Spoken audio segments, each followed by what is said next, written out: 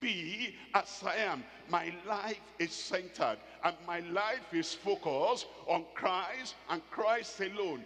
Be as I am because I have been as you are. I became like a Gentile. Look at First Corinthians chapter 9. I'm reading from verse 20. It says, Unto the Jews I became as a Jew, that I might gain the Jews to them that are under the law as under the law, that I might gain them that are under the law. Verse 21, it says to them that are without law, like the Gentiles, like the Galatians, to you that are without the law of Moses, I came to you, and as you are, so I am. And so I want you to be as I am as well. It says to them that are without law, as without law. Be not without law to God, but under the law to Christ, that I might gain them that are without law. You know what he's saying? I became like you are that I might gain you, win you, bring you to Christ, so that I do not allow the Mosaic law or the circumcision or all those rituals to stand as a stumbling block between you and your salvation.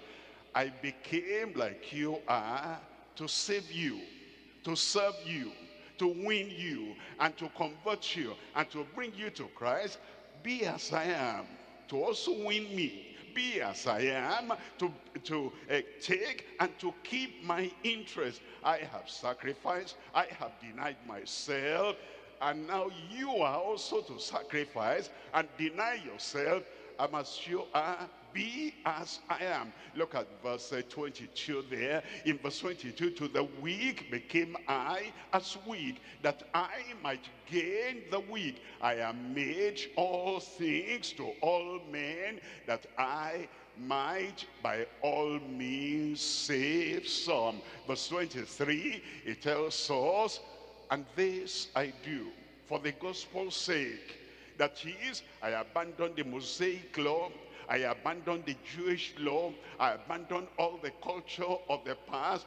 This I do for the gospel's sake that I might be partaker thereof with you. Galatians chapter 6, I'm reading from verse 14.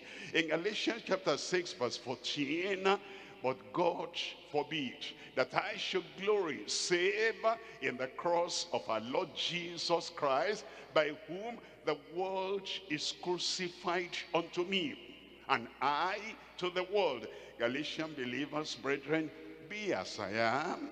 I'm crucified to the world, and the world is crucified to me. All those things that glitter like gold in the world, I want none of them all the things that tempt people and they want to submit and surrender their lives to the world. I want none of them as I am dead to the world. So be like me and be dead to the world. Already you see, I'm dead to the comments of the people in the Jewish nation. They might say, Paul the apostle, what's he doing?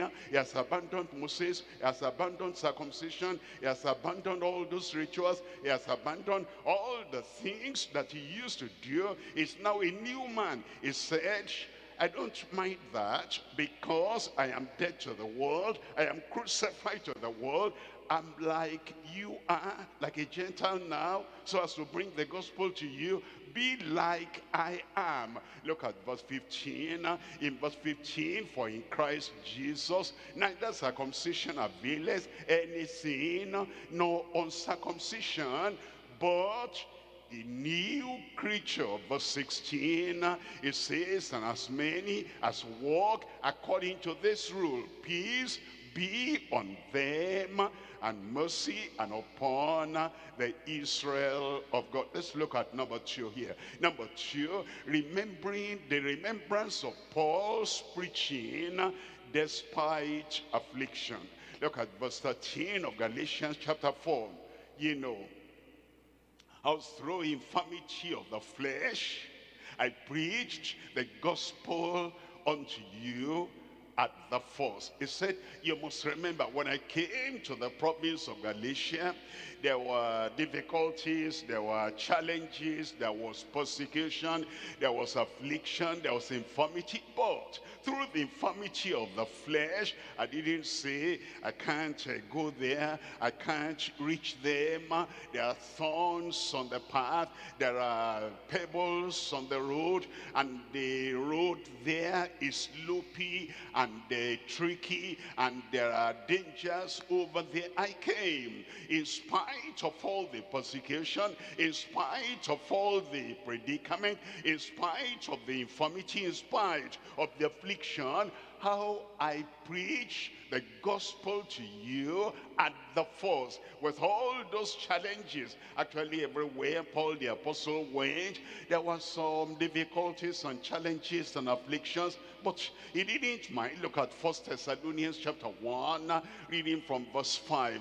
For our gospel came not unto you in word only, but also in power and in the Holy Ghost and in much assurance as ye know what manner of men we were among you for your sake.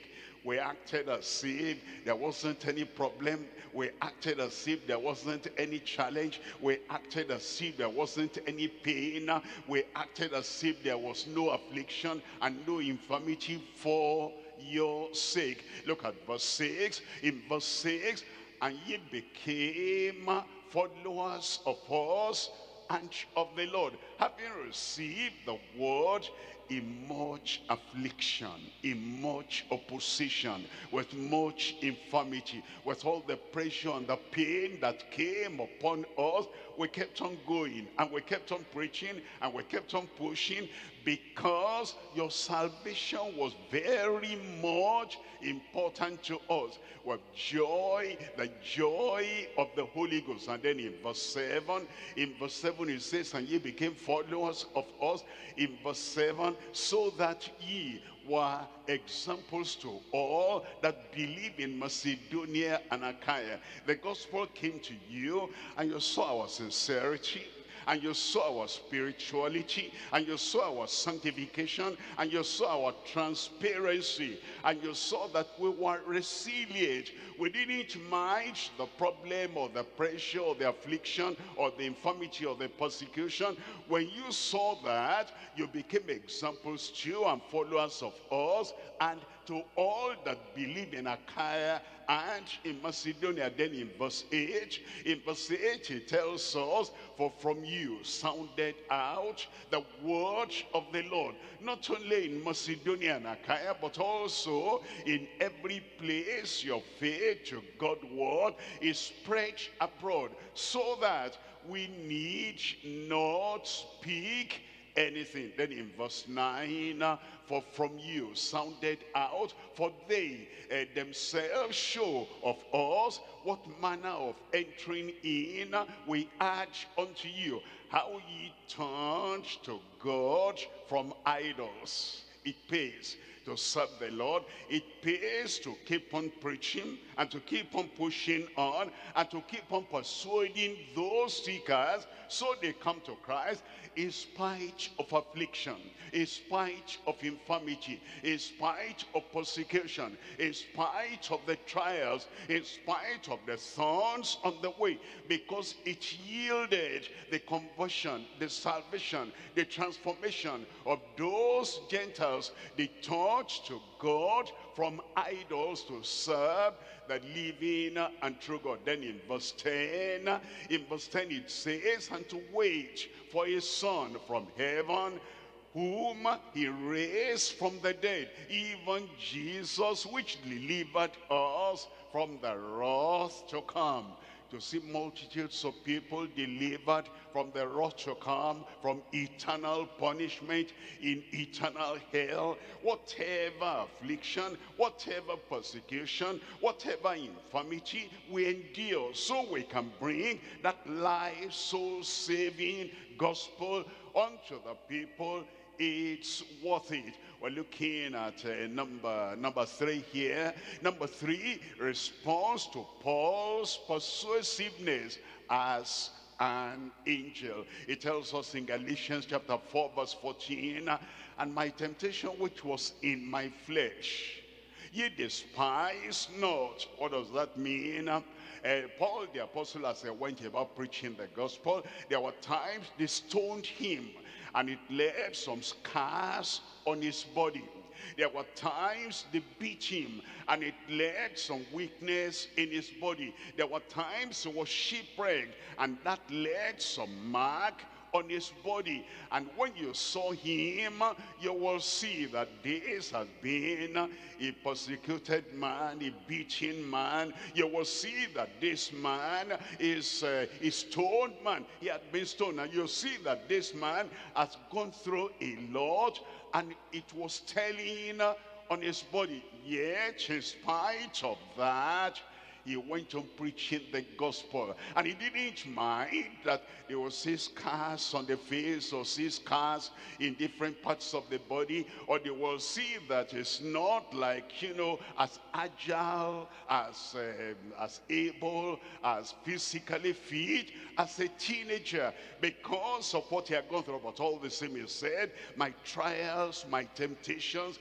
which was in my flesh, ye despise not, nor rejected, but you received me as an angel of God, even as Christ Jesus. That is, they received the word that was preaching as they would have received if an angel had come from heaven and spoken to them directly. They received the gospel he was preaching to them as if Christ himself would descend from heaven and preach that gospel unto them as they will not argue with Christ, they didn't argue with Paul the apostle. As they will not argue with an angel of God, they did not argue with Paul the apostle because they received him, they received this message, they received this ministry, they received this ministration as if an angel of God had come to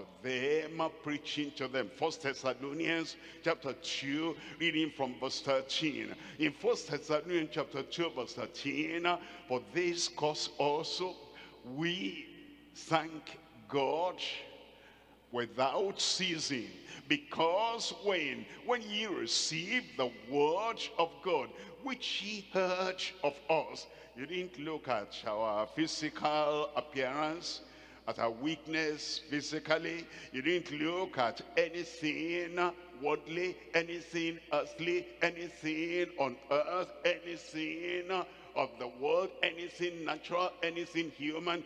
But you heard the word of God, you received the word of God, which he had of us. You received it not as the word of men, but as it is in truth the word of God which effectually worketh also in you that believe. That's how you received the word of God. Galatians chapter 3 verse 19. In Galatians chapter 3 verse 19, therefore, wherefore then servest the law?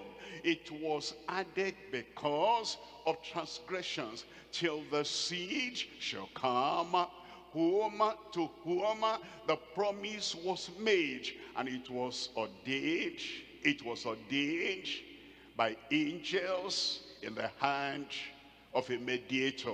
When the when the law came to the children of israel angels took part in the proclamation dissemination and in the telling them of that law. And then Paul the apostle said, like you say now in chapter 4, when I brought the gospel to you, it was like the angels brought the law to the children of Israel. And without arguing with the children of Israel or with the angel, how, why, when, how should that be? you received it the same when I gave you the gospel as if I was an angel of God. I pray that that same attitude will continue to manifest in Jesus' name.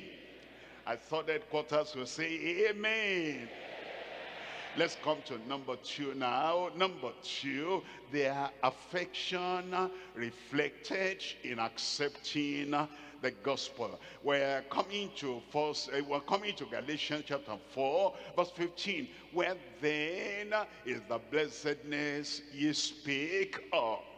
Paul the apostle reflected on the blessedness of the past, their acceptance of the past, and their readiness of the past in accepting the word completely. As reflected in this section, we're looking at number one, the former affection through God's grace.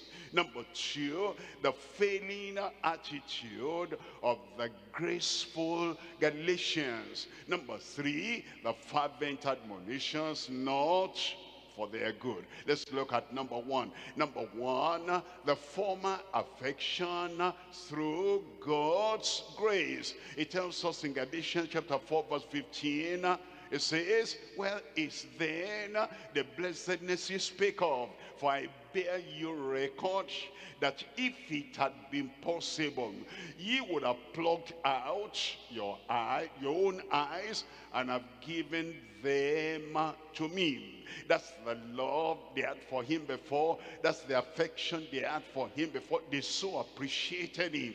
And were so grateful to God that a man should come and show them the way to life eternal. That a man should come and show them how to be delivered out of the darkness of Gentile religion and to be brought into the light of the gospel of the grace of God. Of God. They so loved him they so liked him. They so appreciated him. They were so glued to him in affection and intimacy that if it were possible, if he needed eye transplant, they would have plugged out their eyes and they would have given unto him. The same thing with the children of Israel when they first heard of the Lord and the goodness of the Lord, but the sin faded away. That's why Paul the apostle now was saying, I could tell the blessedness, the affection, and the fellowship and the intimacy in the past. Where is that now? Where has that gone? Jeremiah chapter 2, reading from verse 1. In Jeremiah chapter 2, verse 1, Moreover, the word of the Lord came unto me, saying, Look at verse 2. In verse 2 it says, Go and cry in the ears of Jerusalem, saying, Thus says the Lord, I remember thee, the kindness of thy youth the love of thine espousals when thou wentest after me in the wilderness. I remember that long, long ago in a land that was not sown. Look at verse 3. In verse 3, Israel was holiness unto the Lord. The Lord looked at them and he said, things are different now with you, Israel. When I look at the, at the past and I look at the blessedness, at the joy of following the Lord, at the devotion in following the Lord, at the obedience of the past, and as your attachment unto me. And I see you now, I can only say Israel was holiness unto the Lord. Actually, what the Lord desires, what the Lord demands, what the Lord delights in is not that we will be like that then and not like that now. He wants Israel to be holiness unto the Lord now. He wants the church to be holiness unto the Lord now. He wants you as a member of the body of Christ to be holiness unto the Lord now. He wants that same affection. He wants that same first love. He wants that same devotion. He wants that same transparency. And he wants you to remain holiness unto the Lord every day and every moment at every crossroad. And wherever you may be, whatever may be happening, holiness, it was uh, Israel was holiness unto the Lord. And the first fruits of his increase. All that devour him shall offend. Evil shall come upon them, says the Lord. In Matthew chapter 24, reading from verse 10. Matthew chapter 24, we're looking at verse 10.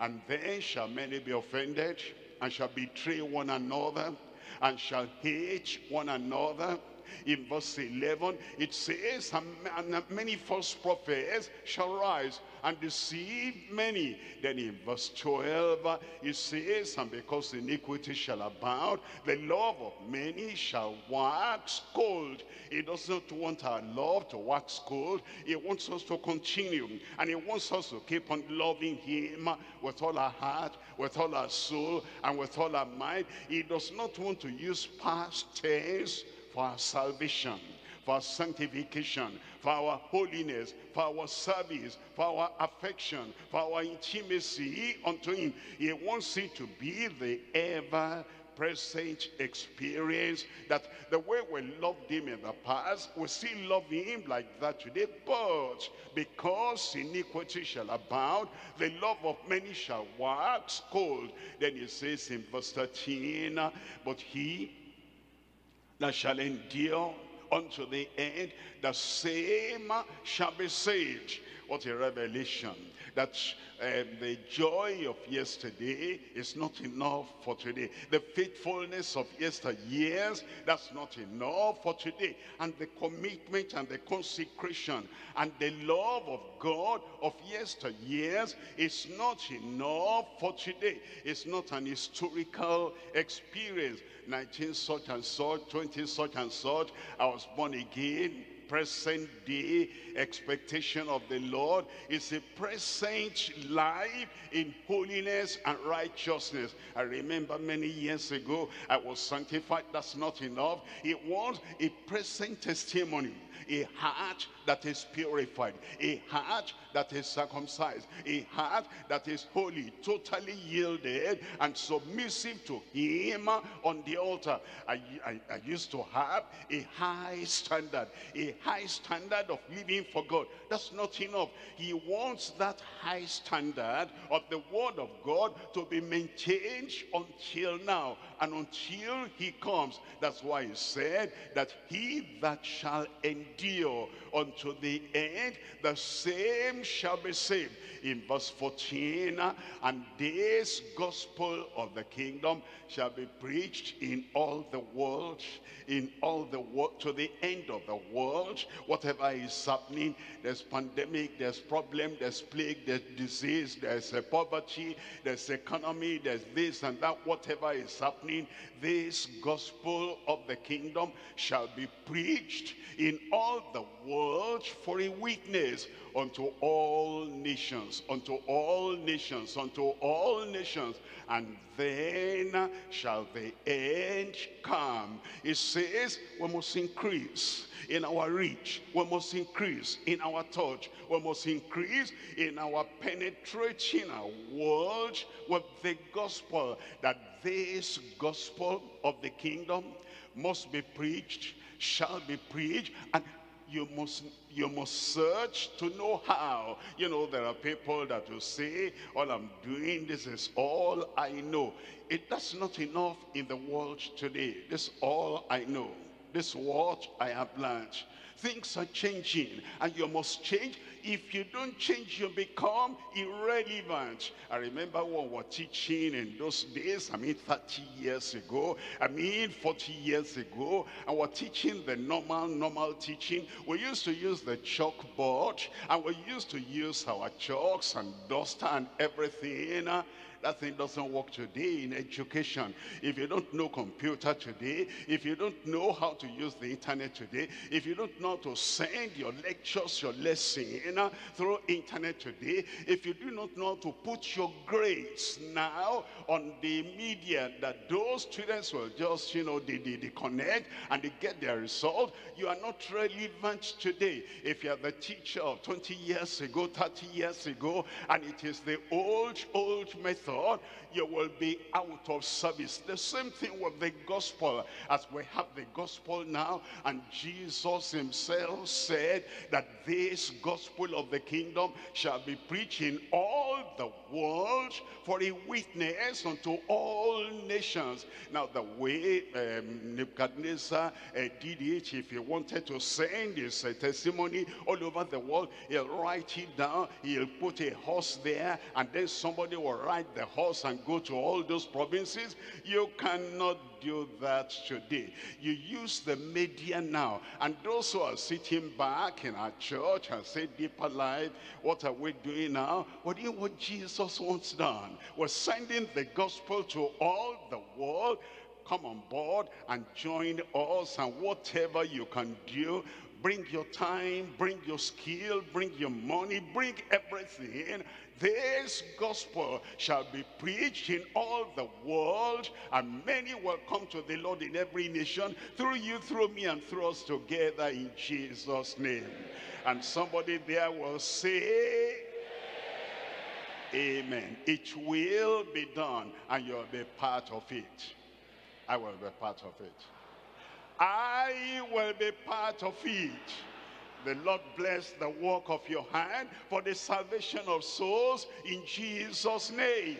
And look at number two here. Number two here, the failing attitude of the graceful Galatians. Failing attitude. Look at Galatians chapter 4, verse 16. Am I therefore become your enemy because I tell you the truth? Now, the attitude of uh, the Galatians uh, was winning. It was declining. It was going down. He said, I remember the blessedness of your love, your affection for me at the beginning. But now I told you the truth. Now I told you that Christ Jesus is the only way. I told you he is the only Savior. I told you nobody can come to the Heavenly Father. Nobody can get to God. Nobody can get to heaven except by Christ and Christ alone that the law of Moses will not get you there. Turning over a new leaf will not get you there. Religious observances will not get you there. Self-righteousness will not get you there. That's the truth. And now the blessedness that I saw before that you could pluck out your eyes and give that to me. I can't see that anymore. It's like now you are withdrawing yourself from me. I can't even see you and I can't even talk to you. Where are you? It says, am I therefore become your enemy? Because I tell you the truth. Now, that's about Galatians and Paul the apostle. Let's talk about ourselves. Do you, am I becoming your enemy? Because I tell you that without holiness, no man shall see the Lord. That's the word of God. Am I becoming your enemy by saying that blessed are the pure in heart? Because only they shall see God. Am I becoming your enemy by telling you that if you are going to get to heaven, he gave himself for us, that he might purify us from all sin, and then he will so cleanse us and purchase to himself a peculiar people zealous of good works. Am I become your enemy because I tell you that if you are indolent, if you are if you are not working for God, if you are just like that, and Jesus meets you when he comes like that, that you will be a person that will be poor all through eternity. There'll be no reward at all. I might become your enemy because I tell you, wake up and reconsecrate yourself again and recommit yourself again. And everything you laid on the altar before that you have taken away from the altar, bring it back to the altar. And let your consecration be beyond what it was many years ago. And with all your heart, all your soul, and all your mind, you love the Lord without reservation, without a rival, and without anyone to compete with your love for God. That's the truth I told you that will make you acceptable to God, that will make you keep in the love of God. And like Paul the apostle asked the Galatians, I am I'm also asking you, therefore, am I become your enemy? Because I tell you the truth, we will not be enemies. We'll be in unity together in Jesus' name. As I'm pulling it up, you are joining and you are pulling it up with me in Jesus' name. As I'm running, as I'm declaring, as I'm persuading, as I'm saying that this is the will of God, even your sanctification, you will say yes to everything. You will say amen to everything. Your heart will be aligned to everything in Jesus' name. Uh, look at uh, First Kings uh, chapter 21. I'm reading from verse 20. First Kings chapter 21, reading from verse 20. And Ahab said to Elijah, As thou find, found me, O mine enemy. Now, those Galatians were now acting and talking and behaving like Ahab. Eh, Ahab saw Elijah and he said, As thou found me, O mine enemy. Now, Ahab, why did you say that? How could you say that? Elijah was a prophet of God and he was sent of God to declare the word to the nation and he wanted to bring the nation back to God. How could such a person be an enemy to you? He said, he answered, I have found thee. He didn't argue. Elijah did not say, am I your enemy? He wasn't afraid. Am I your enemy? He wasn't feeling lonely. You are the most important number one in our nation. And then you count me as your enemy. How could you say that? Elijah said, Yes, I have found you. Because thou hast sold thyself unto walk evil in the sight of the Lord. I pray that the people God is using to touch our lives, to transform our lives, and to get us ready for the coming of the Lord will not count them as enemies in Jesus' name. Look at number three here. Number three here, the fervent admonitions not for their good. In Galatians chapter 4, reading from verse 17, they zealously affect you the Judaizers, the people that promoted circumcision, and the people that spoke about uh, the law. They were very, very zealous. They'll cross land, they'll cross the sea, they will use any means to bring their error and their falsehood unto the people. They zealously affect you but not well. It's not for your good. They will cut you away from the Savior. They will cut you away from the Sanctifier. They will cut you away from the power that you need in your life. They will cut you away from concentrating on the way that leads to heaven. And it will be like, you know, they take the precious thing, the gift and the grace and the goodness of God away from your hand, and yet they do it lovingly lovingly. If, they, if somebody loves you and is going to take salvation from you, is going to take holiness from you, he loves you, always interacting with you. He wants to bring you down from the top where you are, where you identified with Christ and you are seated in heavenly places with Christ. He wants you to bring, he wants to bring you to the low level of the law of Moses. And yet he's doing it zealously, affectionately, with smile, with laughter, and with good attitude, but that's not for your good. We need to understand uh, the difference between Paul the apostle and all those deceivers that were going to throw them down from the tower where they were. They zealously affect you, but not well. Yea, they will exclude you. They will exclude you with their smile. They exclude you from the salvation coming from Calvary with their smile and with their affection. They'll exclude you from the thing that Christ has purchased for us on the cross of Calvary with their smile, with their affection. They will exclude you from heaven. That's the important thing to consider. They will exclude you that ye might affect them. All they want is for you to please them, for you to make them happy at the expense of your losing heaven. Make them happy at the expense of your being caught away from Christ. Look at verse 18. In verse 18, but it is good to be zealously affected always in a good thing. If you're going to affect anyone, make it for their good. What have I contributed to their lives? Have I raised them up? How have I lifted them up? What zeal have I given them? What commitment have I given them? If you're going to be friends with anyone, you must ask yourself, what's he adding to my life? What's she adding to my life? How is she helping me? How is she making me to come nearer and nearer and nearer to Christ?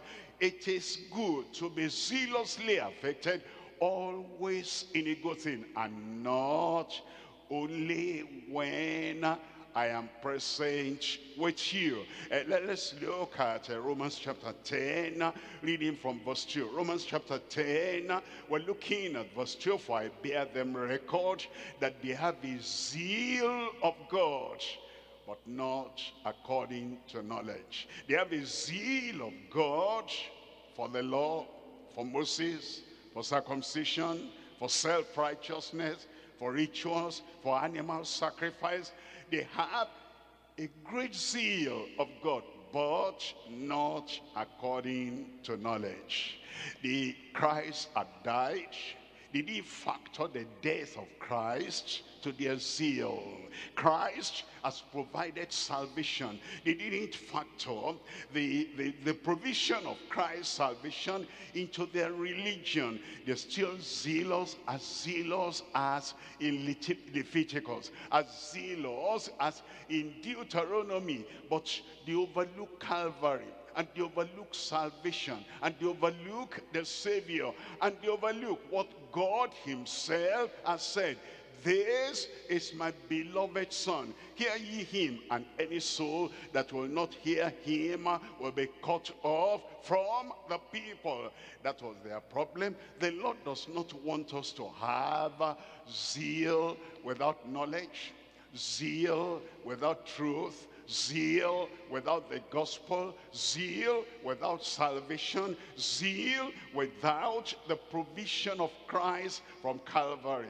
And I pray our zeal will go along with the word of God in Jesus' name. We're coming to point number three. Point number three, traveling ambassadors refocused on awakening to his grace. We're coming to uh, Galatians chapter 4 verse 19. My little children of whom I travail in birth again until Christ be formed in you. What does that mean? It's uh, giving us a picture of Christ standing at the door of the heart and knocking. That if anyone opens the door, I will come in unto him. I will dwell there. I will abide there. I will sup with him and fellowship with him. Now, he's using the picture that Christ was on the inside of them. But Christ had become powerless, impotent, like baby Christ. And it's not like a transforming Christ, a teaching Christ, an effective Christ, a mighty Christ, a powerful Christ inside them. And he says, now I travail now I persuade. Now I call you.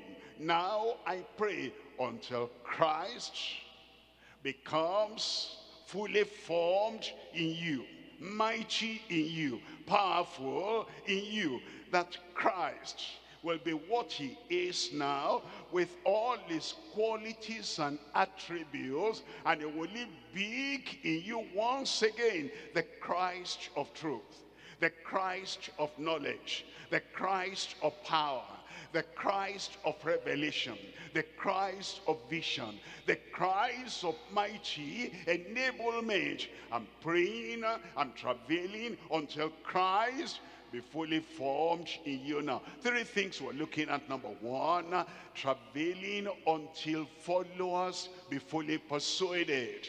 Number two, teaching until faith be firmly perfected.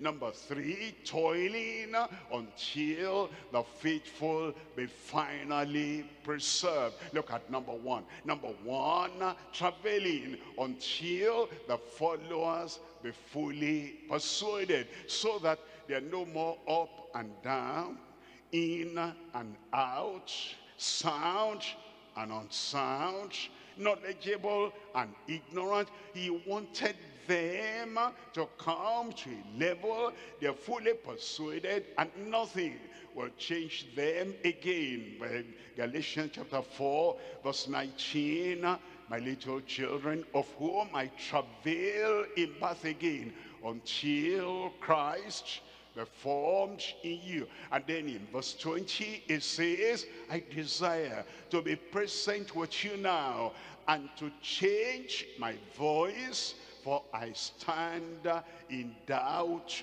of you. Look at Ephesians chapter 4, reading from verse 14. Ephesians chapter 4, verse 14, that we henceforth be no more children, tossed to and fro and carried about with every wind of doctrine by the sledge of men and cunning craftiness whereby they lie in wait to deceive. Then in verse 15 it says, but speaking the truth in love, ye may grow up that's what he wanted for the Galatians. That's what God wants for us.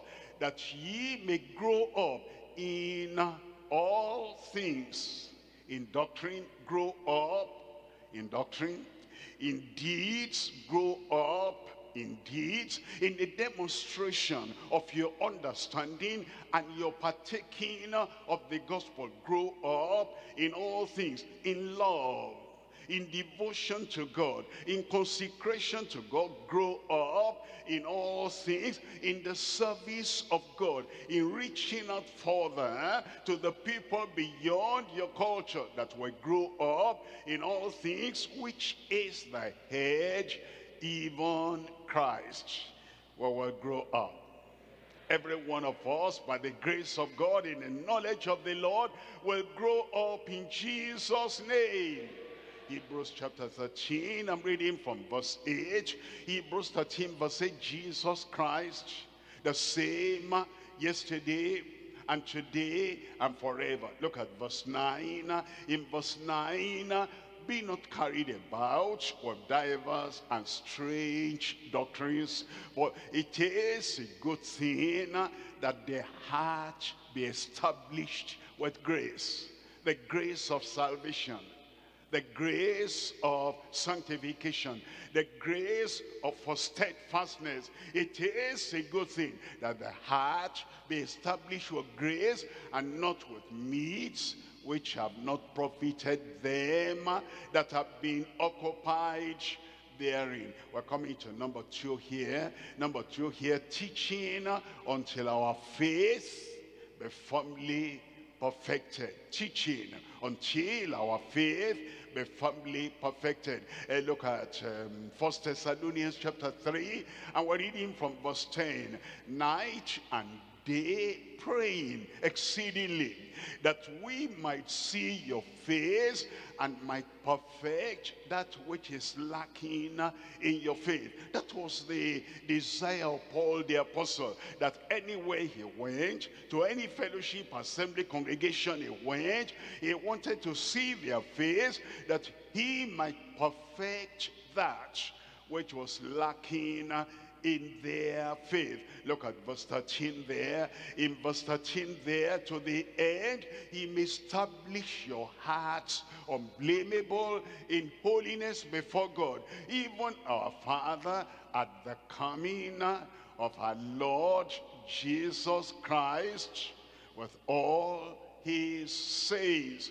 We're looking at Colossians chapter 1, reading from verse 28. Colossians chapter 1, Verse 28, when we preach, warning every man and teaching every man in all wisdom, that we may present every man perfect in Christ Jesus. That we may perfect, present every man perfect in Christ Jesus. Verse 29, in verse 29, whereunto I also labor, striving according to his working, which worketh in me mightily. I pray that it will work also in you mightily in Jesus' name. Number three here, we're toiling until the faithful be finally preserved. Toiling and working until the faithful be finally preserved. In Philippians chapter 1 verse 10, that she may approve things that are excellent, that she may be sincere and without offense till the day of Christ. Amen. We don't know Christ will come, but every day and every moment we so live our lives in the grace of God that we're sincere and without offense, offense towards God, offense toward man, when without offense till the day of Christ. In verse 11, verse 11, being filled with the fruits of righteousness, which are by Jesus Christ unto the glory and the praise of God. I pray you stand firm. You stay committed and you stay stable and steadfast until the very end in Jesus name if that's going to happen revelation chapter 2 verse 25 revelation chapter 2 we're looking at verse 25 but that which ye have already that which ye have already christ knows we have something already the angels know we have something already. Paul the apostle knew that the Galatians had something already, but the Judaizers were trying to take that out of their hands. I have something. You have salvation, you have something. You have sanctification, you have something. You have the service of God in your hand, you have something. You have the love for God, you have something. Uh, that which ye have already, hold fast till I come. Who is going to hold fast? Steadfast until the end. Where are you? Hold fast until he comes. And the grace of God abide in your life in Jesus' name. Let's rise up now and talk to the Lord in prayer. That good thing that we have, uh, the salvation, the experience, the power, the glory, the godliness, the presence of God, every good thing we have, hold fast until he comes.